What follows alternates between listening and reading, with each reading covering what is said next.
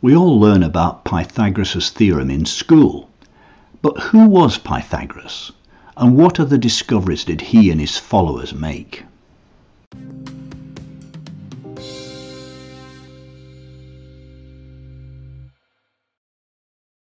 The fact is, there's not very much we know for certain about Pythagoras. None of his writings have survived, and a lot of what was written about him later has been clouded by legend. Still, we do know that he came from the island of Samos and that he lived from about 570 BC to about 495 BC. He was a philosopher and he founded a school of thought called Pythagoreanism. There are all sorts of strange stories about him. One is that he was a strict vegetarian with a particular aversion to eating or even touching beans because he thought they contained the souls of the dead. There's no real evidence for that, although it seems pretty well established that he believed in metempsychosis, or transmigration of souls, the idea that people have immortal souls which after they die enter a new body. But more than anything, Pythagoras and his followers are remembered for their connection with maths. They were obsessed with the idea that numbers are at the heart of everything. Each number to them had a special significance.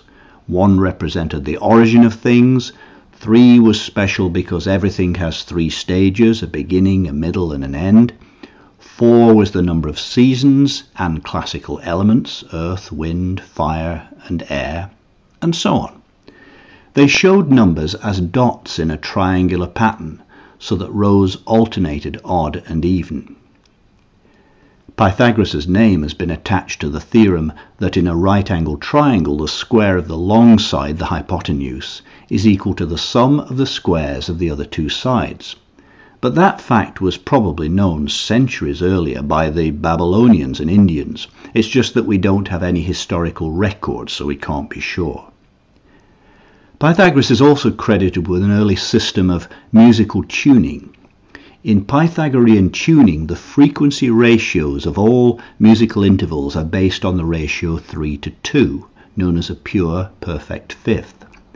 Legend has it that he uncovered the mathematical basis of music when he was passing blacksmiths at work one day and heard what seemed to him the harmonious sound of the hammers against the anvils.